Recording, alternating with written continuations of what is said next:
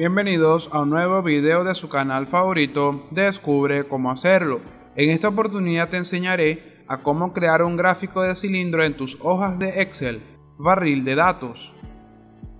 Debo mencionarte que debajo en la descripción de este video encontrarás un artículo donde tendrás toda la información relacionada a este tema.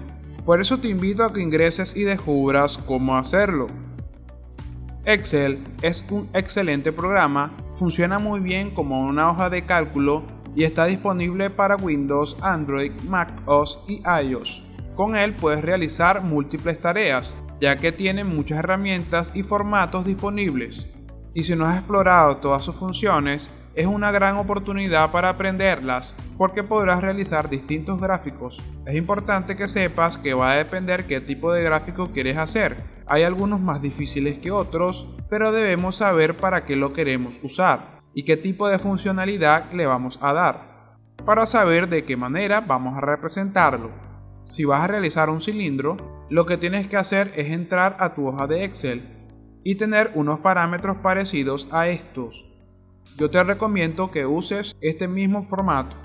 Lo seleccionas dejando presionada la tecla control y luego vas a presionar en insertar. Seguidamente presionas en insertar gráficos o columnas y seleccionas en 3D apiladas. Es importante que escojas estas, porque si no, no podrás realizar el procedimiento. Es importante que elijas estas, porque si no, no podrás hacer el procedimiento.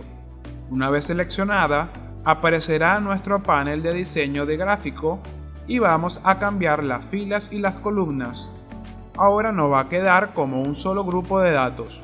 Le damos segundo clic y seleccionamos dar formato a serie de datos y saldrá un panel a la derecha. Acá podemos personalizar nuestra gráfica, seleccionamos la opción de cilindro y esta cambiará su formato.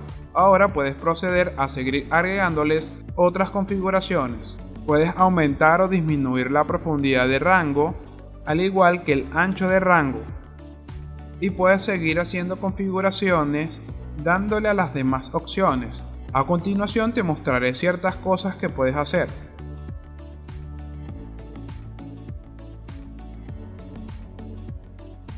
Y eso será todo.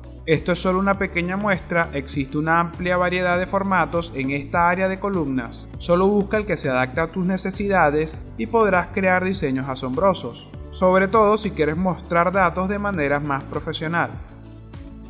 De esta manera concluimos este video, espero que haya sido útil esta información, si tienes alguna duda puedes dejarla en la caja de comentarios, recuerda darle like y suscribirte, no olvides darle a la campanita de notificaciones para avisarte de nuevo contenido. Hasta la próxima.